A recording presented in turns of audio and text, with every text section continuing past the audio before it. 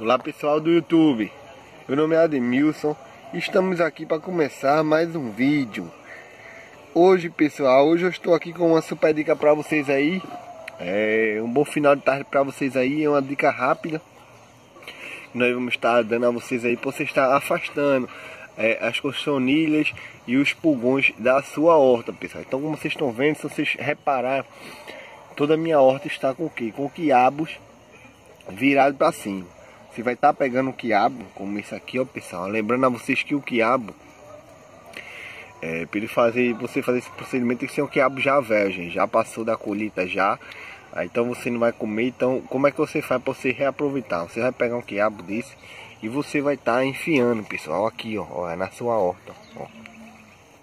Vai deixar, você pode ver vários pontos tem. O que é isso aqui, gente? Isso aqui você vai estar tá marcando o território, gente.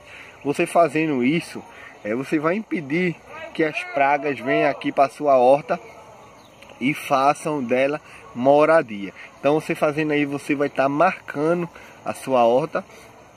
Eu vou estar tá botando outra aqui, tava fazendo isso aqui. Ó, botou, pronto. Socou tudinho direitinho.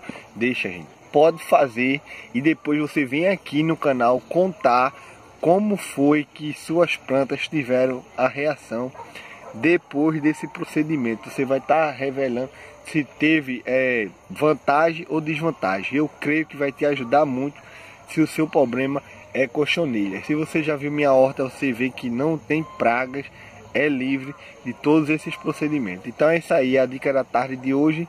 Vou ficando por aqui. Fiquem com Deus, pessoal, e até a próxima.